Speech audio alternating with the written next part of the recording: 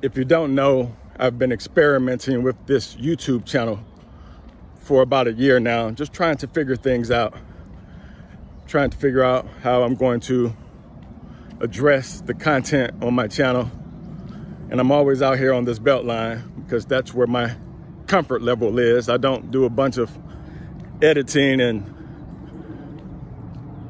putting lights and features and things that fly by on the screen.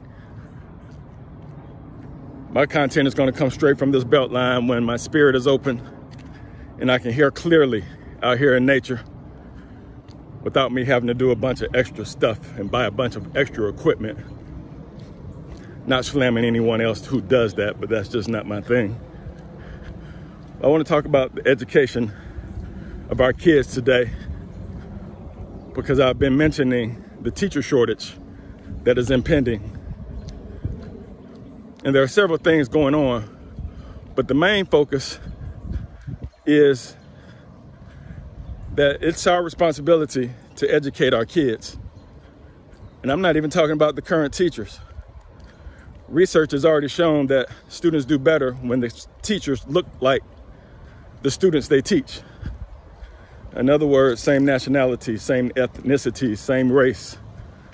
Now, we have great teachers in all races that reach all children. That's not even a debate. But to bring out excellence in all kids, the teachers need to mirror the students.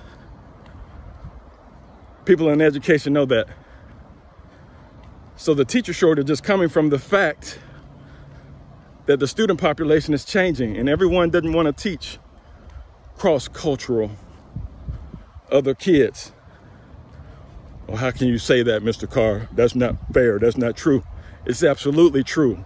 I've seen people leave neighborhoods three different times over a 40 year span in my lifetime because certain cultures moved into the neighborhood.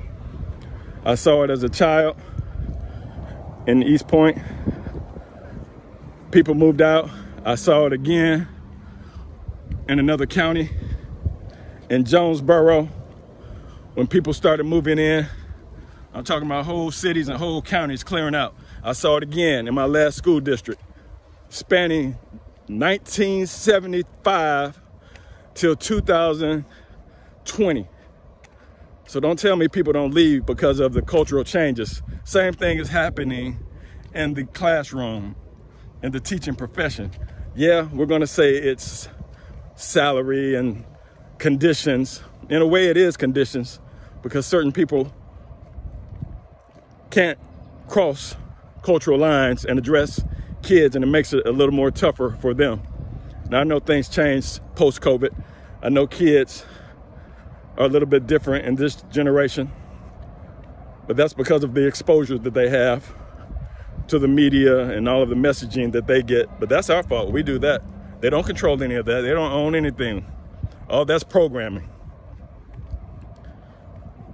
I'm making this video to implore us to get your kids to be teachers. My son's going to be one. He's actually been working in the rec centers for about three years now, and he loves it. And he's going to continue through school and get his credentials to be a teacher. Otherwise, you're going to be taught by a bunch of people who absolutely have no interest in your child, probably from another country in a totally different culture that may not speak your language.